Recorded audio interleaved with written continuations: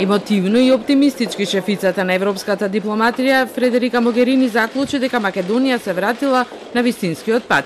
За разлика од состојбата во земјата од пред една година кога била во Скопје и денеска таа гледа голем напредок, но смета дека сега треба препораката да се прослави половина ден, а другата половина повторно на работа, според дувајки го реформскиот процес со видеоигра. Кога ќе завршите едно ниво, добивате ново ниво, а на крајот од денот добивате екстра поени. Вистинската цел не се институциите, туку подобрувањето на стандардот на граѓаните и подобар квалитет на живот. Сето ова започна и ова се придобивки кои членството во Европската Унија ги носи со себе.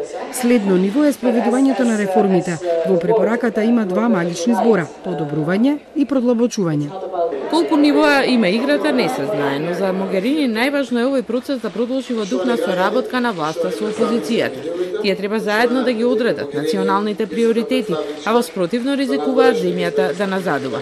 Могерини е оптимист и дека до Европскиот самит во јуни може да се реши спорот со Грција и Македонија да добие датум за преговори.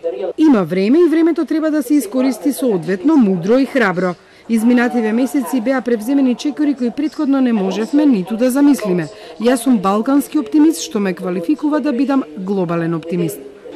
Овој оптимизам го дели премиерот Зоран Заев, иако официјална Атина соопшти дека нема време тоа да се постигне ниту до самитот на НАТО во јули. Јас сум убеден дека ќе добиеме датум за преговори заради тоа што тоа што досега го имаме постигнато со Грција на вистина и го гарантира тоа. Ќе бидеме сите стрекни ако најдеме решение, а верувам дека тоа е можно.